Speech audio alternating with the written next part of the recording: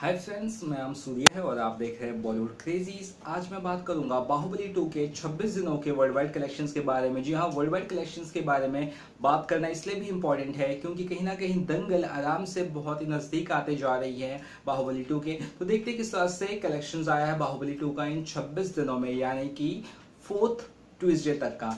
जी हाँ इंडिया में इसने कमाई कर ली है 481 करोड़ हिंदी वर्जन में, बाकी और तीनों जो तमिल, तेलुगु, मलयालम वर्जन में की है 520 करोड़, और जो नेट कलेक्शन है 1001 करोड़ का, जी हाँ 1000 करोड़ फ़िल्म ने क्रॉस कर लिया है। अब अगर हम बात करें इसके ग्रॉस कलेक्शन की 1001 करोड़ के तो वो है 1291 करोड़, यानी कि एक हज़ार दो सौ इक्यानवे करोड़।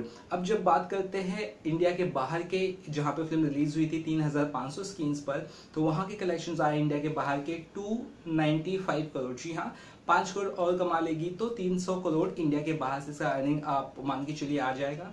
तो 295 करोड़ प्लस इंडिया का one two nine one crore. तो हमें जो मिलता है टोटल वो मिलता है one five eight six crore. जी हाँ एक हज़ार पाँच सौ छियासी करोड़ का इसका वर्ल्ड वाइड टोटल हो चुका है और जो कि बहुत ही ज़्यादा बड़ा है। किसी फ़िल्म ने अभी तक ये कारनामा नहीं किया है स्पेशली कोई इंडियन फ़िल्म ने अभी तक बिल्कुल कारनामा नहीं किया है। तो इस हिसाब से ये बहुत ही बड़ा रिकॉर्ड है। हर दिन का कलेक्शन एक नया रिकॉर्ड है बाहुबली टू के लिए और दंगल ही आसपास पहुँच रही है। करीबन पचास साठ करोड़ दूर है। देखते किस तरह से दोनों फ़िल्मों में घमासान होता है। लेकिन देखने वाली बात है कि क्या बाहुबली टू ये अपने रिकॉर्ड को कायम रख पाएगी और या अच्छे से कलेक्शन कर पाएगी? ये बहुत ही इंपॉर्टेंट यहाँ पे सवाल बना हुआ आपको क्या लगता है, क्या दंगल रिकॉर्ड तोड़ पाएगी या नहीं? आप ज़रूर बताइएगा। अगर आपको इसी तरह के वीडियोस आगे भी देखने हैं तो आप ज़रूर इस चैनल को सब्सक्राइब करना ना भूलें। चलिए, तब तक के लिए बाय बाय